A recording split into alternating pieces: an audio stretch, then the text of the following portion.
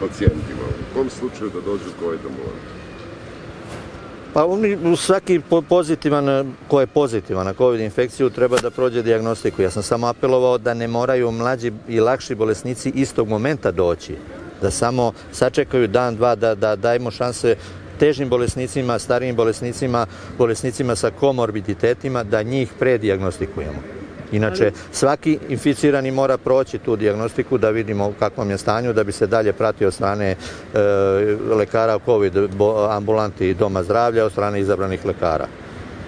Ali, ali ti pacijenti će reći, ali isto će biti i sutra, jer e, ja znam ljude koji dolaze po 4-5 puta u tome dođite sutra, dođite sutra. Nemojte mi zameriti, ali nisam ja kriv što Kraljevo već koliko dana ima preko 200 novo otkrivenih bolesnika. Koliko smo dana unazad i mjeseci apelovali na građanstvo da se poštuju neke mere, da se poštuju mere. Ova maska i distanca su bile dovoljne mere da se može reći da, da se zaštitimo, da smanjimo broj.